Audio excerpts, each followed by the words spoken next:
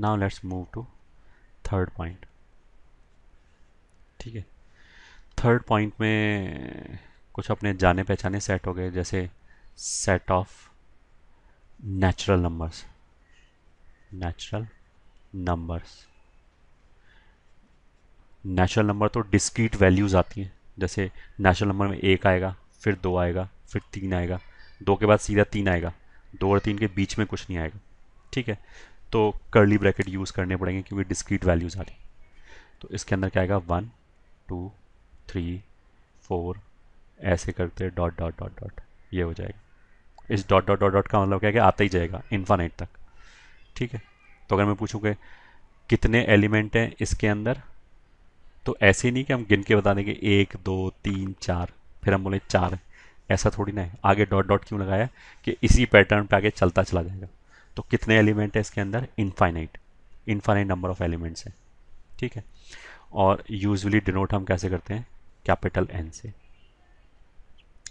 या फिर हम इसको ऐसे ही बोल सकते हैं कि ये सारे पॉजिटिव इंटीजर्स हैं। वन टू थ्री फोर सारे इंटीजर्स हैं एंड पॉजिटिव हैं। ज़ीरो पॉजिटिव नहीं होता। ज़ीरो नहीं आएगा इसमें।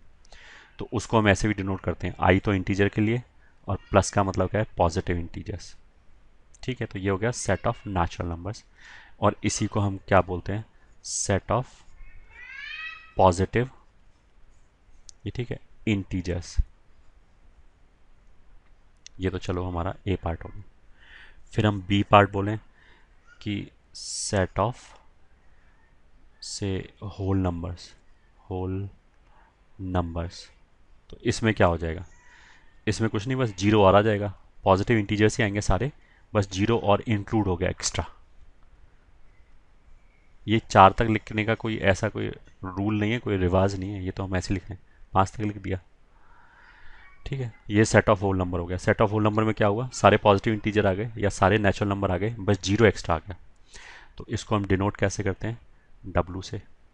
डब्लू का मतलब क्या है? सेट ऑफ़ होल नंबर्स और तरीका क्या है इसको डिनोट करने का? कि आई प्लस ले लिया, सारे पॉजिटिव इंटीजर और उसमें अलग से एक एलिमेंट ज़ीरो और ऐड कर दिया। ऐड कर दिया मतलब यूनियन ले लिया, क्योंकि सेट के टर्म से मैं बात कर रहे हैं। तो ये, यू, ऐसे और ले लिया।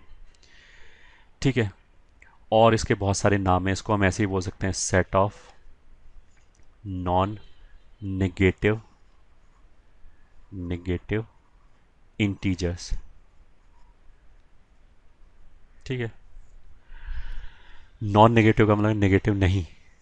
ठीक है। नॉन नेगेटिव का मतलब पॉजिटिव नहीं होता। अगर मैं बोलूँगा नॉन नेगेटिव का क्या मतलब है? और अगर तुमने बोला कि पॉजिटिव तो गलत बोल दिया। क्यों? क्योंकि ज़ीरो भी तो होता है। नॉन नेगेटिव का मतलब नेगेटिव नहीं होगा बस। तो फिर क्या होगा? या तो पॉजिटिव होगा या ज़ीरो होगा। ठीक है? तो पॉजिटिव बोलना और नॉन नेगेटिव बोलना दोनों में अंतर है। नॉन नेगेटिव में ज़ीरो भी आएगा पॉजिटिव में ज़ीरो नहीं आएगा। ठीक है? तो इसको हम ऐसे ही लिख सकते हैं। आई माइनस आई माइनस इसका मतलब क्या है? पहले वाला आई क्यों लिखा है ये? सेट ऑफ़ इंटीजर्स उसके बाद ये आई माइनस क्यों लिखा है? कि हमने सारे नेगेटिव इंटीजर्स हटा दिए। तो अगर नेगेटिव इंटीजर हटा दिए मतलब minus one minus two minus three ये सब हटा दिए। तो क्या बच गया? ज़ीरो बच गया and one two three four ये सब बच गया। तो वही लिखा हुआ है। तो होल नंबर को नॉन नेगेटिव इंटीजर्स भी बोल सकते हैं set of non negative integers ठीक है? नेचुरल नेचुरल नंबर हो गया नॉन नेगेटिव इंटीजर्स हो गया। अब आते हैं अपने सी पॉइंट पे।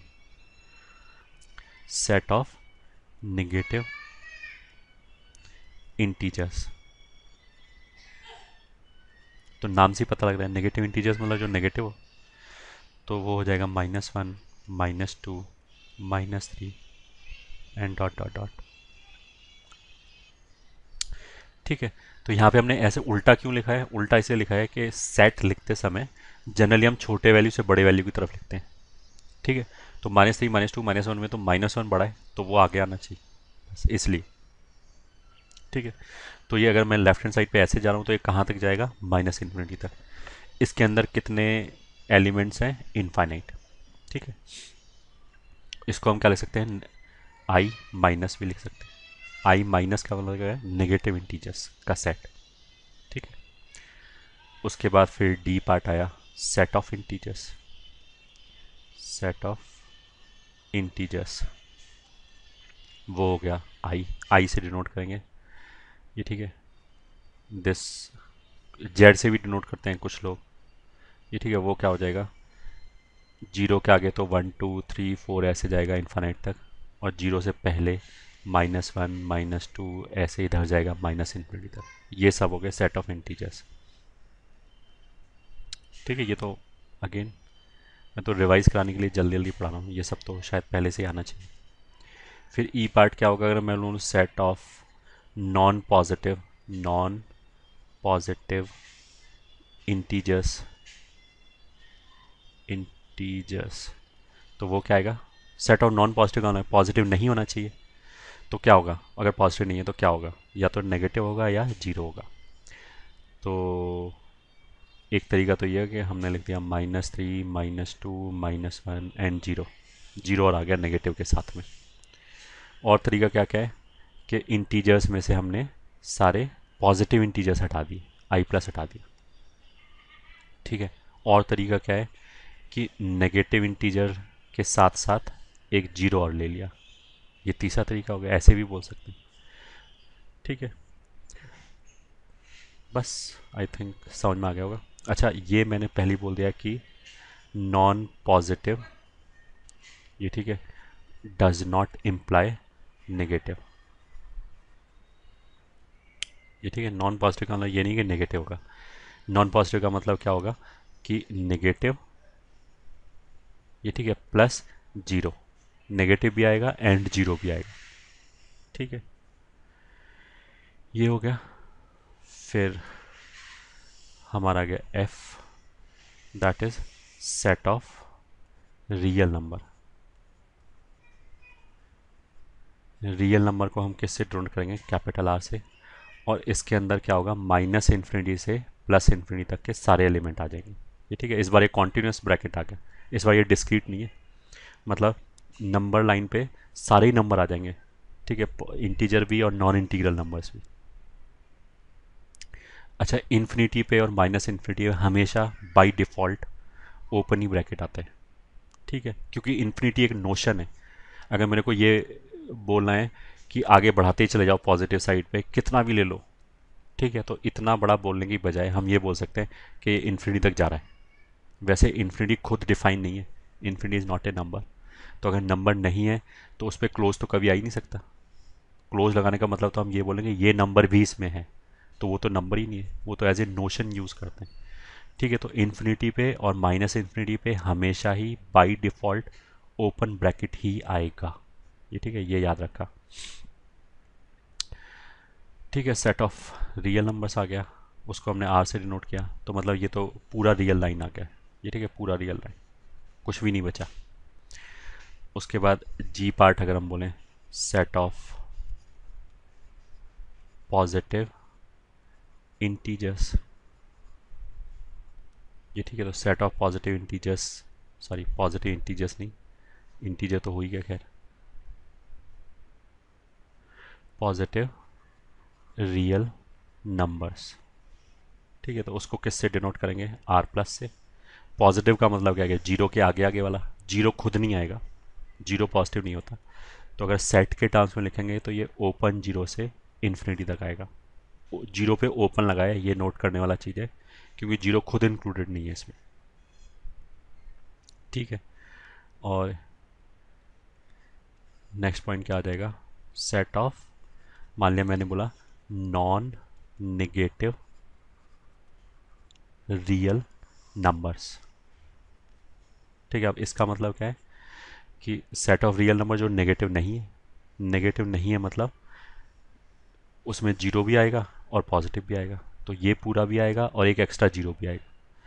तो एक्स्ट्रा ज़ीरो अलग से यूनियन बनाने की बजाय हमने यहीं इंक्लूड कर दिया तो ज़ीरो पे क्लोज लगा दिया। तो अब इसके अंदर ज़ीरो भी आ गया और ज़ीरो के आगे वाले सारे नंबर आ गए। ठीक है? और इसको डिनोट कैसे करेंगे? एक तो हम ऐसे बोल सकते हैं आर माइनस आर माइनस मतलब पहले वाला जो आर लिखा है उसका मतलब क्या सेट ऑफ़ रियल नंबर्स दूसरे वाला जो आर माइनस लिखा है उसका मतलब क्या है? कि रियल नंबर्स में से हमने सारे नेगेटिव हटा दिए। नेगेटिव रियल नंबर्स हटा दिए। ठीक है? या फिर हम इसको ऐसे बोल सकते हैं कि सारे पॉजिटिव नंबर ले लिए और एक ज़ीरो और ले लिया अलग से। तो ऐसे भी इसको लिख सकते हैं। ठीक है? बाकी तो अब एच के बाद क्या आएगा? आई तो set of negative real numbers ये ठीक है? उसको कैसे डिनोट करेंगे? आर माइनस से। और सेट के हिसाब से वो कितना आएगा? माइनस इन्फिनिटी से ज़ीरो ओपन ठीक है?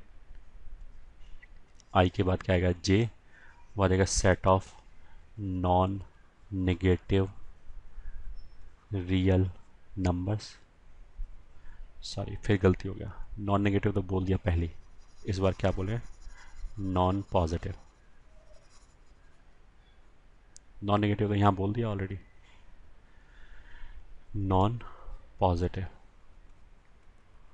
ठीक है तो नॉन पॉजिटिव का मतलब पॉजिटिव नहीं तो पॉजिटिव नहीं तो फिर क्या?